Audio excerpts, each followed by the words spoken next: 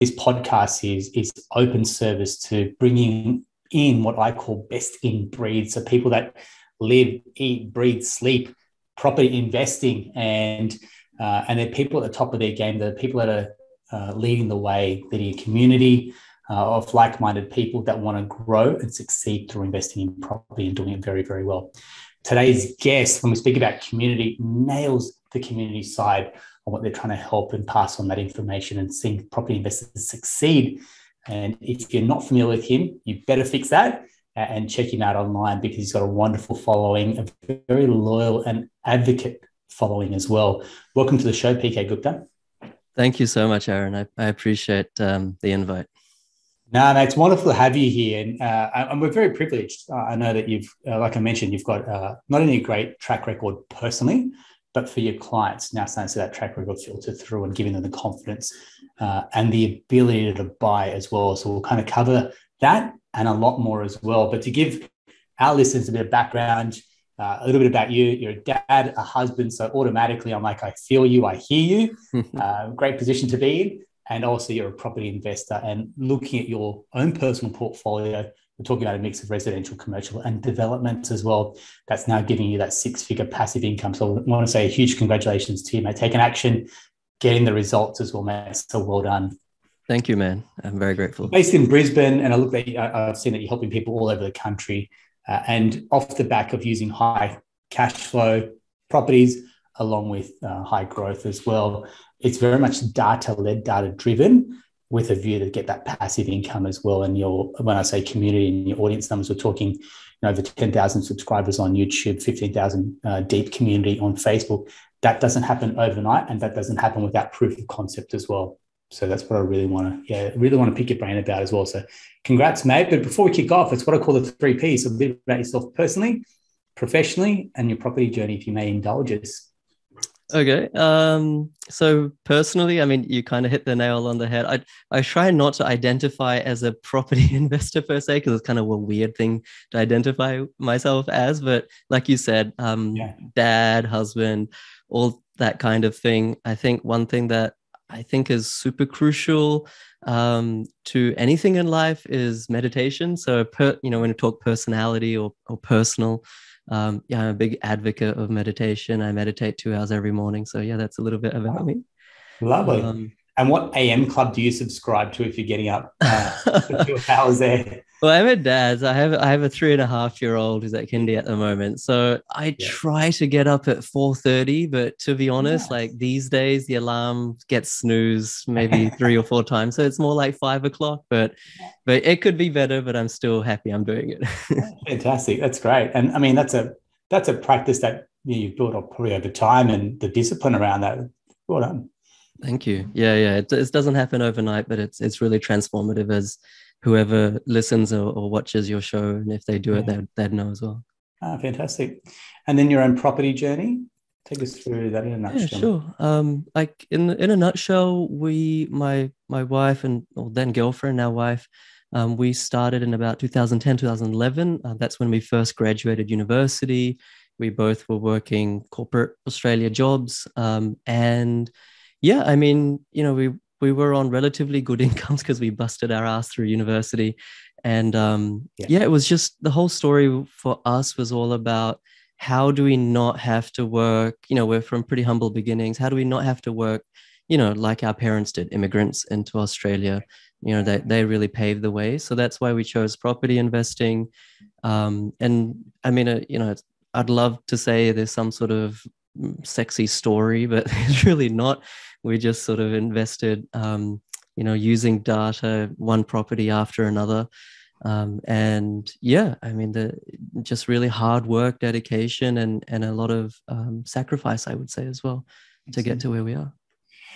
I mean, that's when you talk about those type of beginnings, and it's probably uh, again I can relate to it. Right, come to this country with not much in your hand, you know, our parents anyway, but um, to then go on and what you've been able to change within one generation. Like this country, I, I just keep telling everyone, like this country, it's something amazing where within a generation, you have rewritten intergenerational wealth through property. Like that is just amazing, right? When you think about it. Yeah. Totally. Totally. You know, they talk about the you know, like the American dream per se. Yes. I, I, I hope the American dream, dream is still alive and well, but I feel like Australia, it, it's like it's the it's a lucky country. It's the place to be, and I'm you know, there's always luck involved in building a property journey. Like, let's be honest. Um, but yeah, I mean, I don't know where else I could have done it except Australia.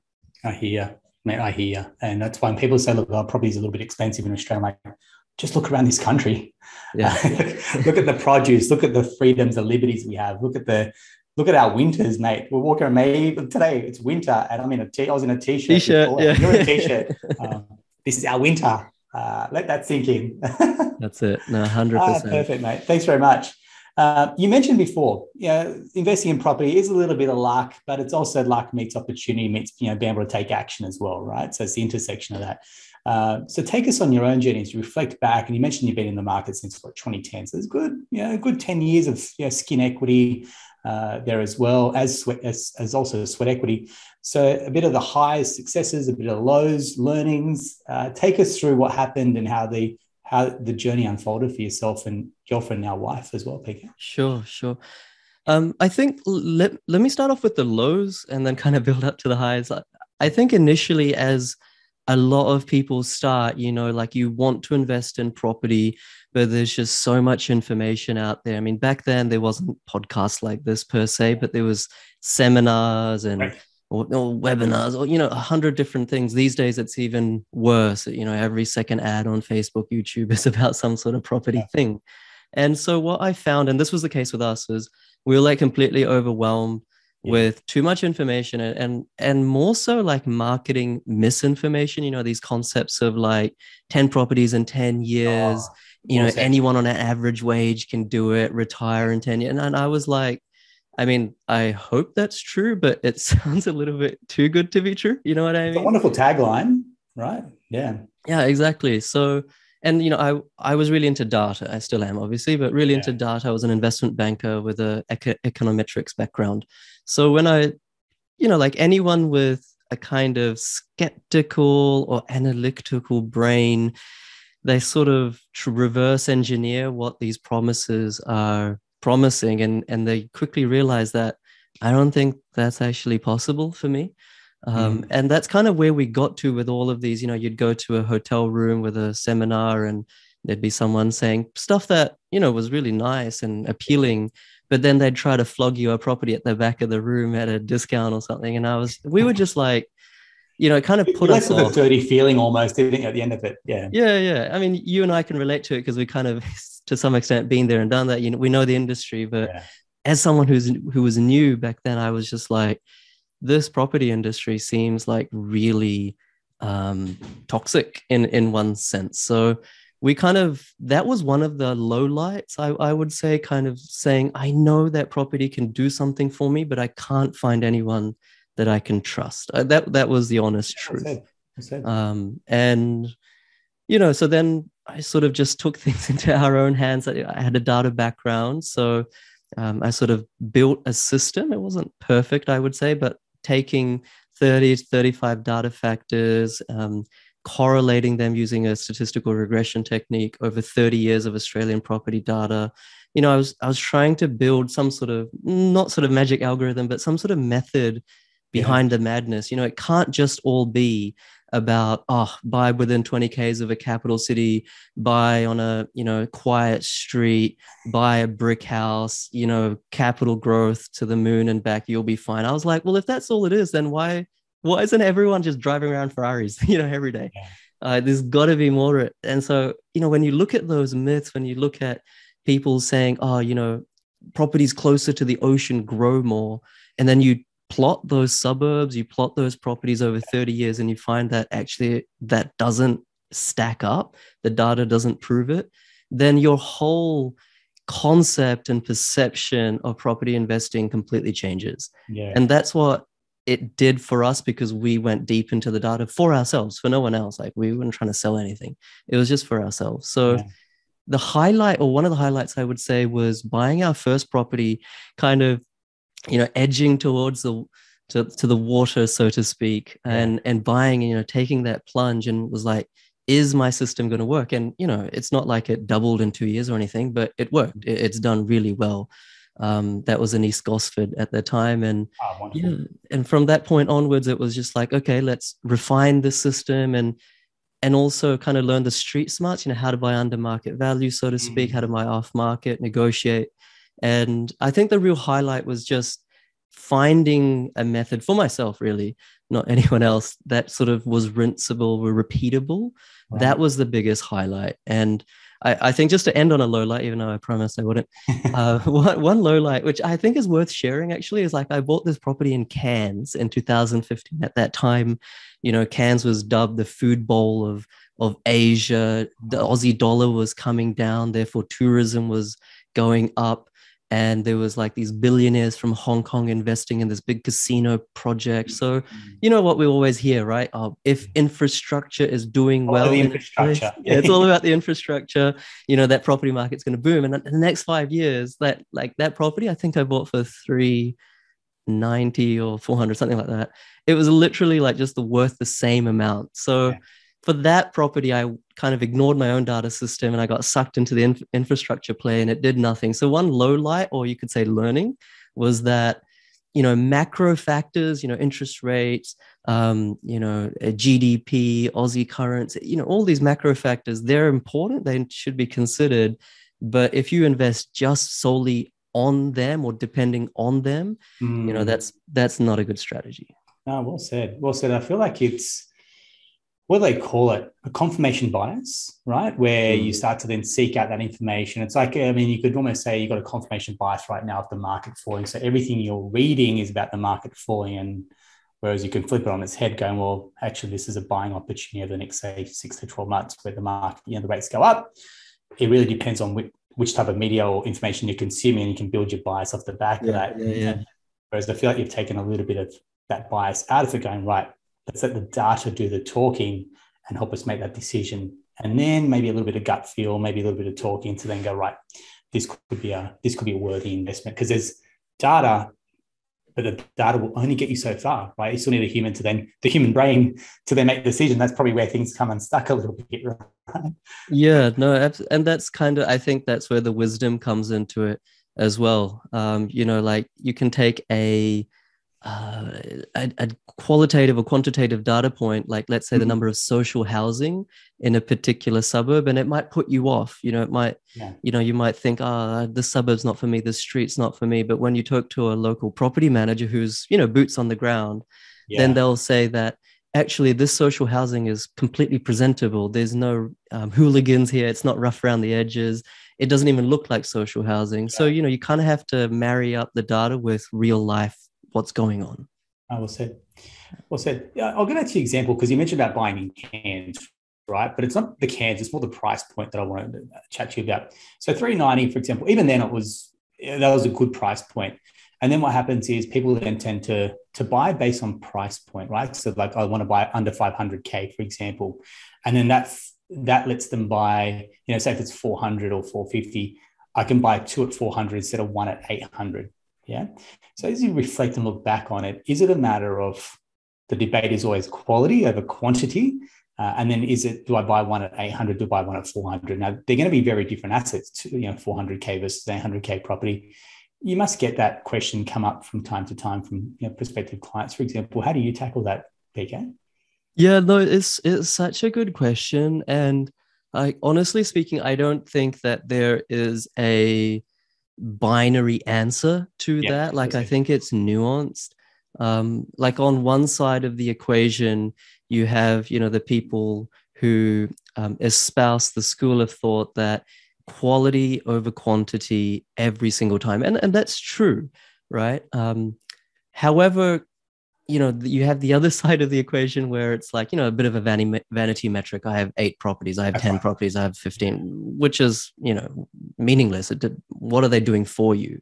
Yeah. However at the same time i, I want to make this point that and it's a really important point that sometimes we can over egg this argument of quality over quantity. And, and what i mean by that is you know clearly I, like i'm in brisbane so clearly, a property in a place like New Farm, which is going to be more than a million dollars, blue chip, quote, quote unquote, that is going to be a higher quality property than somewhere, let's say 20 Ks, um, you know, away from the city in Petrie. You know, yeah. Let's, let's go with that. So objectively speaking, one is certainly higher quality um, and than the other. However, if you had bought one New Farm property, I'm just making these numbers up for a million dollars, you could have alternatively bought three Petrie properties um, for 330 each. So the portfolio value would be the same. And if yeah. you fast forward, you know, let's say two years, three years, four years, five years, it's the Petrie portfolio that's outperformed the New Farm portfolio of one property. So it's not that we favored Petrie just because we are able to buy three properties and quantity over quality. No, mm. it's it comes down to which suburbs are most likely to improve, and it's not just those which are quote unquote blue chip. And, and you're a broker, you know this much better than myself, Aaron, that when you buy, I don't want to say cheap properties, but when you buy more affordable properties yeah. with a higher yield, the bank likes that. The banks like that. They consider that yield or cash flow to be more favorable and your total borrowing capacity is egged up you know just a little bit more versus buying one 1 million property at a 3% yield. So mm-hmm. i don't know if i actually done a good job of answering that. I feel like i've confused everyone or myself included but it's it's not a binary answer and, and it depends on your strategy in terms of lending and it depends on which suburbs you're considering. But definitely, I can say that just at a high level, it's not just about quantity over quality. Yeah, well said. And uh, you're exactly right. There's so many layers to that question, which is well, how much deposit do you have? Because that's ultimately going to determine how much you can buy. What yeah. does your future borrowing capacity look like? Again, you may say, I want to buy a new New Farm, but if it doesn't, you don't have the borrowing capacity, you just can't do it. And then ultimately, it's okay. Look, three properties, but there may be three in a row, and then you've got a development opportunity in the, in the future. And again, well, hang on, that's not a level playing field anymore. So yeah, spot on, a really, really good example. Um, but it's a question that comes up, you know, for a lot of aspiring investors, the vanity metric. I'm like, don't get caught up in the number of properties. Hmm. Sometimes less can be more, but also what does that portfolio actually entail and how they're performing? So, thank you very much. Um, one of the questions that I really want to ask you is as we start to see rates go up, so not even it's not even a question, it's a matter of when and how much as opposed to if because rates are going up, which is then going to start to change the tide on how investors you know perform, how their portfolios grow and, and develop. But there's something interesting I heard you say, which is rate resilient areas. And I've seen a couple of, you know, a couple of articles, you know, start to throw this around a little bit, which areas or which type of properties may, you know, may overcome rate rises and, and, and have that level of resilience to it. What are your thoughts and what's your outlook on on on these type of properties? Yeah, no, it's it's a really super question, and and I think you kind of alluded to it before, Aaron, that you know depending on which type of content you consume, you can be swayed. you know, like oh, interest rates are going up. Um, therefore, property market will come down is a very easy thing to say, but mm. once again, there's layers behind that. So, I mean, just to pick on one layer for for today, I, I suppose affordability. You know, everyone thinks that, and it's true to a large extent, that property is unaffordable in Australia. However, that's mostly like a Sydney, uh, Melbourne phenomenon. Uh, you know, yeah. that also exists in other parts of Australia, but just to kind of generalize, that is mostly a Sydney, Melbourne phenomenon. So if you think about the data, like this data is a year old, so granted, but it's from ABS you know, about um, of, of all the mortgages in, in Australia, of all the mortgage holders in Australia, you know, those that are paying, um, I think it's more than, or, or sorry, th- those that are paying less than 25% of their disposable income towards their mortgage, okay, so less than 25%, that is more than 75% of mortgage holders. All right. So, in other words, um, the vast majority of people who have a mortgage across Australia yeah. are paying less than 25% of their disposable income after tax yeah. as mortgage repayment. So, when you think about that, you actually realize that aggregate on an aggregate basis, housing yeah. is still affordable. Now, if you look at that number for Sydney, you know, it's it's not less, it's not the same, it's higher. Same with Melbourne. So you, the question becomes, all right, I am a property investor or I want to become a property investor. I'm a little bit scared, you know, rates are rising, doom and gloom. Yeah. But where are the pockets? Where are the suburbs? Where are the cities? Where are the towns where, you know, maybe it's not even 25%. Maybe where are those areas that people are only paying 10% of their disposable income towards mortgage repayments? And so, therefore, if rates rise to, let's say, a more neutral level, whatever that is, let's just say two, two and a half percent, then that is just gone from 10% to 15%. It's still very affordable. It's like no one needs to all of a sudden call their bank and say, I can't make repayments. Right. So I, I just want to, that's like kind of the first thing to kind of demystify and unpack Australia because there are 15,000 suburbs in Australia.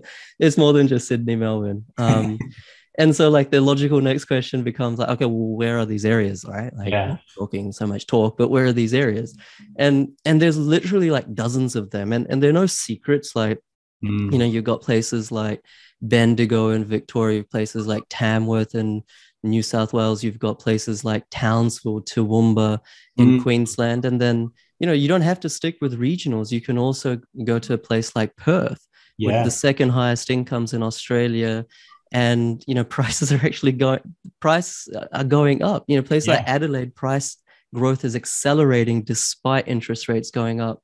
So you got to have to you kind of have to like deep dive and understand why that's happening and it's mm. because of affordability. So oh, yeah there's a bit of a waft but I, I feel that that was like really important to to share and i think all the good investors recognize this fact. Yeah well said and exactly just to finish on that point, that's probably a strong, like the, a really strong way to finish, which is good investors, because investors aren't created equally. There are a segment of the investor market who will freak out when rates are going up, or you know lose a little bit of sleep over ten or twenty dollars, or maybe a, a week or two's vacancy. Where there are other investors that have done their numbers, that are confident in their own skin, going right. We've we've mapped out the worst case scenarios, vacancy rates, issues with the property, whether that's maintenance, whether that's uh, strata, whatever, whatever issues come up, they can face that. And then the other one is from a lending, the other one's macro. So if property prices stagnate, they can live with that and they can sleep with that. Whereas others are going to lose sleep. And they're probably the investors that detract from, they're the ones that probably have the loudest voices sometimes and detract others from investing in it because they've had a bad experience as well. Yeah, no, that that's a really good point. And um, like just yesterday mm-hmm. or last night, I was talking to one of my clients, he bought in Toowoomba at a 5.2% yield. And I, I asked him point blank, you know, interest rates are rising. There's 5.2% yield, even though it's positive cash flow. The property pays for itself right now. Yeah. In a year in two years' time, you know, this property may not pay for itself. Like, what is your view on interest rates rising? And and he said a very interesting thing to me. He was saying, despite what interest rates are doing, I know that this suburb in Toowoomba, rents are going to rise between three and five thousand dollars in the next 12 months, which nice. will more than offset, you know, the additional outgoings because of rising interest costs. And and I think we're in this kind of point in Australian property cycle where overall there's headwinds against property price growth on an aggregate basis. Yeah However, there are tailwinds in terms of rent increases, you know, where there's a housing crisis and there's not enough, you know, basically houses in Australia yeah. for everyone who wants to rent. So even though you're not going to get another 20% capital growth across Australia, um, you know, the, the rent is going to keep chugging along and more yeah. than chugging along, it's powering home. So it's a kind of a very unique, I don't think we've been in this situation where the housing market is going to be a bit soft, relatively speaking. Yeah. But the rental market is the hottest it's ever been in history. Yeah. Yeah. Such a great perspective, mate. Thanks very much for sharing. And I mentioned before about some investors going to feel this way and, and other investors going to have this sentiment as well. And, and part of sentiment is built around community. Yeah, we've spoken about confirmation biases or or you know the school of thought you subscribe to, but a big part of that is who are you surrounding yourself with how are they lifting you up and what's the information they're sharing and giving to you as well. And when I talk about community, I would have mentioned at the very start. I mean, again, the vanity metrics when you talk about how bigger communities, again, we'll talk about quality over quantity, yeah. in your own community. But I feel like that's one thing that you've really done differently. Uh, and it's what I call like the done for you model, which is say the traditional buyer's agents where you give the fee. And I know you've, you've mentioned that a few times without doing things without a buyer's agent. Versus the done with you model, which is I'll help you, but you've got to help yourself a little bit more as well. And that's where your your community kind of plays into as well because they will buy properties, haven't traveled to see them, you know, haven't engaged a buyer's agent, but they're making fairly big decisions for themselves as well. So there's a couple of parts to this question. One is have you engaged your community? Have you built that as well to then have a have a really good following? But then also within that community, how are people then kind of peer to peer learning and helping grow each other as well? Because I think that's a really good part of nurturing. Yeah, no, su- such a good question, and and I think I, I don't want to take any credit, but I, I found that in Australia, at least, it the dynamic for a consumer or property investor was very much I have an option to either consume all this free content, you know, just yeah. like this podcast is great, yeah. and have a crack. You know, I'll do it myself. I'll buy a property, build a portfolio myself, or I got to outsource this thing to, you know, buyers agents or property companies. You know, yeah. of which there are awesome ones, and there are like in any industry, not so awesome ones. Yes, but there was nothing in the middle, and and when I first started, like I, you know, I was saying, I would have loved for there to be something in the middle where, yes, I am being taught systematically how to do something, but I'm able to actually understand it and make the decisions myself, as opposed to Aaron telling me, "Oh, mate, I found this amazing property. You know, sign here on the dotted line. You know, this is going to bring your dreams come true because there's infrastructure project going in. You know, like sorry, I'm using you an example. No, no, but, no. Far away, mate. I've been I've been plenty of uh, been sold to plenty of times, so don't worry. but that that kind of middle ground, yeah. as you said, um, what did you say? Done with you. I think that's a cool yeah. way of saying it. Um, that was lacking. So that's where I started my Facebook group, uh, the YouTube community. And yeah, like, of course, I have life experiences and a particular way in which I view the world. So yeah. everything is biased, right? Because I'm an expert in one thing, not in another thing. Sure. However, the community aspect allows people to also bypass me and talk to each other. Like just this morning on the Facebook group, you know, there's great question. One lady was asking, "Oh, what are your experiences, guys, on Mildura?" And I chipped in saying, "Oh, look, we were buying there a few years ago. It's probably risen too much now." And then another person said, "Oh, but there's this pocket that hasn't grown too much and has great zoning and etc. etc." So wow. it's like, you know, by crowd sourcing not money but crowdsourcing knowledge. Yeah. You know, that is powerful. I, I find that that's powerful. And, and of course you know a lot of clients come through that community but then at the same time i get messages every week from some person who says uh, PK i'm not a client so sorry about that. I didn't buy your mentorship program but thank you for the free content and the community i ended up buying in this suburb and it's doing really well. So it's like, you know, that puts a smile on your face as well. Uh, absolutely. It, means that your heart's in the right place because if you want people to then go through your, call for what, you know, what a lot of I've seen um, sales people do is put them through a funnel. You got to buy this, upsell here, for example, and then you get access to me, which is, that's not the case. Great people are always great buyers agents, great brokers, great accounts. They're just going, look, here's my knowledge. I want to give it away because I want to help people not make these mistakes. Whether you choose to come with me or not, it's a very different story. But at least I can impart some knowledge and some wisdom, at least we can lift the tide and, and raise the raise the level of conversation a little bit more to have good investors. I think that's that's a wonderful way to pay it forward. Yeah, hundred percent, hundred percent. And it, it, sounds a bit soppy and and fluffy and things like yeah, that, yeah. but I, I genuinely have experienced that the number of people that you add value to, you genuinely help, yeah. you know, it it pays back. You know, then trust is built, goodwill is built, and even if they have already bought a property, you know, a lot of them, you know, through the community they buy a property, and then for the second one they say, "Oh, PK, this time we really want to optimize and not leave any money on the table. We want to do the course." So it's like maybe there's a selfish angle in it, but mm, really there isn't. It's like you're just adding value and the people who vibe with you they come forward anyway. Also also and exactly that. The second that you feel like that icky feeling when the word selfish is used the same way with this. I'm like don't you don't have to use me as your broker. In fact find a good broker that you connect with. I may not be the one that you actually love or connect with mm. but as long as you know which questions to ask that'll put you in a better place that's all we're i feel like our businesses are in the we're in the confidence game. Yes. So that to our team. We're not here in the loan game. We're here in the confidence game. Help make investors make confident decisions, better decisions, and whether they go with us or not, we've done our part, which is at least helping them take action. After that stage, that's that we can lead a horse to the water. After that stage, you know, that's that's their own decisions. But yeah, I feel like yeah, and that's that's the biggest shame, isn't it? Like when someone has some knowledge, you know, you've led them to the water per se, but they just don't have the confidence to take that next step, that yeah. that sort of just last step. And you're, you know, I remember like two years ago, in the middle of COVID when everyone was screaming, you know, depression and housing crash and the usual 40% crash theories yeah. and predictions came out.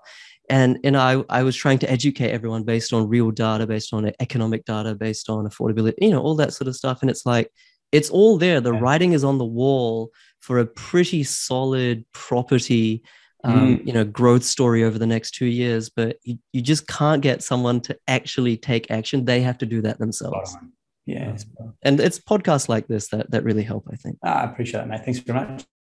Um, just as a last point, bit on going back full circle to it personally. So, where, what happens for yourself next? Like the next step? I don't want to probe, it's, I don't want to overstep the line here, but where to next for the for the Gupta family in terms of what does your your next investment look like? What are your future plans and developments? Yeah, no, great, great question. Um, I don't know, I don't know if I have an answer.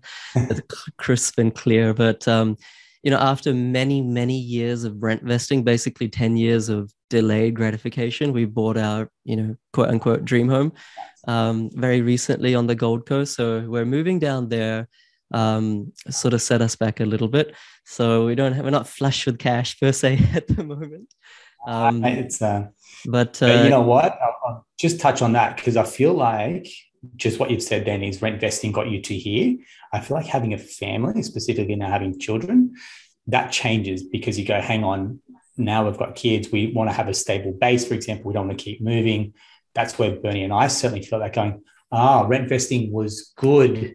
But now we've got to a different stage in life, which is children, family stability, want to put roots down. Mm right, let's think about buying our own place as well. So I feel like, yeah, I can, I can. That's it. No, that's it. And everyone's different as well. Yeah.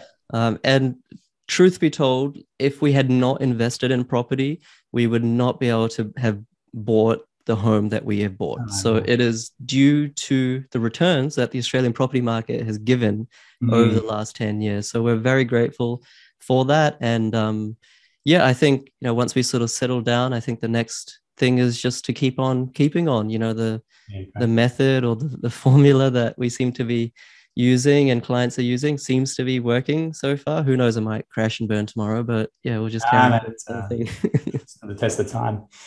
Congratulations mate. I want to say um, well done. Well done. It's uh, you've got a story that i feel resonates with a lot of people whether they're people that have come to australia had to build their lives whether it's people that just you know that their parents and this is what quite often people's parents haven't bought property, they haven't had you know that role model, for example, that that know-how, or people just want to better themselves and like, look within one generation, how do we rewrite our financial story and then teach our kids to be better with money, or teach our kids that there's a great way to invest in property as well. And I feel like that what you've done there is lift the, and raise the bar, mate. So congratulations.